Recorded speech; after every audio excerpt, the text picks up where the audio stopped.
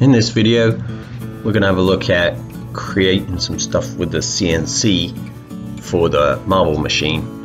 First thing I did was design a piece that will allow me to raise the marble up.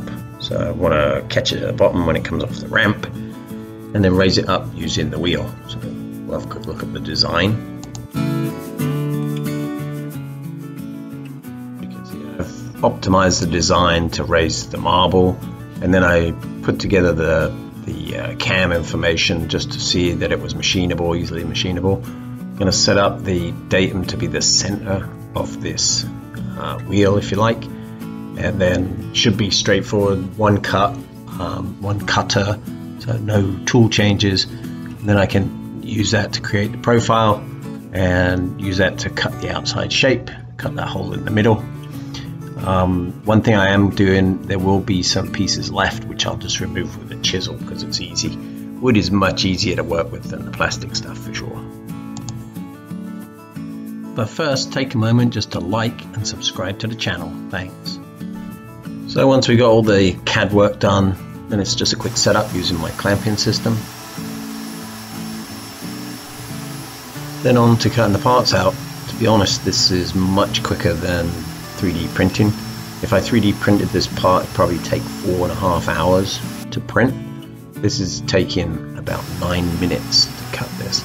And I'm using a very conservative feed rate. I don't like to go smashing in there too fast because you can move things around, you can break pieces off. This is plywood, and as it cuts down lower into the plywood, it will break pieces off. You actually see it does that in, in a couple of things, even with a slow feed. But if you if you go in too crazy at it, you will cause it to uh, snap pieces off.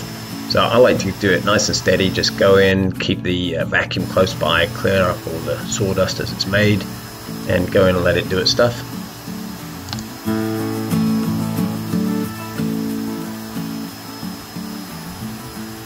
So the design for this to raise up the ball and, and move it to the next stage, I just put it together on Fusion 360 and I just work through different shapes uh, with a representation of the ball and rotate in that shape just to see where the ball would go.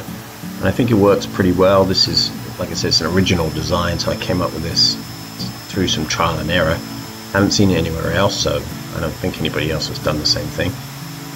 Essentially, you catch the ball, and then as it raises around, because of the slope on the second part of the cog, it's going to let that ball out early. And you'll see at the end of this video there's just a very brief view of how it would work.